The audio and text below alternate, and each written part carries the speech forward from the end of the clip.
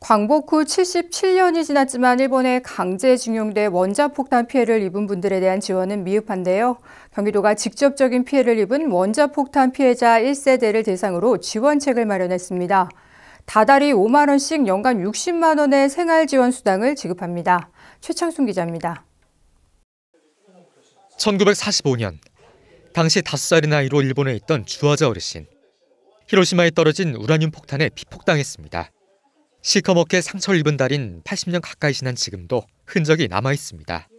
피폭 피해가 더 심했던 어르신 자매의 경우 오래전에 목숨을 잃었고 신체적인 피해는 조카에게까지 유전됐습니다.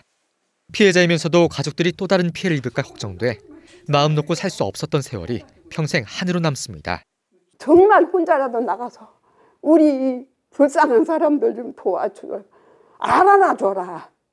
이렇게 일본에서 피해보고 지금도 고생하고 있다는 걸 그거를 난 진짜 강요하고 싶어요. 주화자 어르신과 같이 원자폭탄에 직접적인 피해를 입은 피해자 1세대는 경기도 내 144명.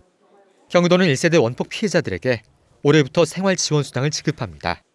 몸이 불편한 채 어렵게 살아가는 원폭 피해자들의 생존권을 보장하고 진료비 등 경제적인 부담을 덜어주기 위한 겁니다. 수당은 다달이 5만 원씩, 연간 60만 원이 계좌로 지급됩니다. 신청은 시 군청이나 읍면동 행정복지센터에서 하면 됩니다. 다른 국가 유공자 분들은 이제 국가적 정책이 좀 그래도 있으신 편인데 이분들은 그런 정책이 미비하십니다.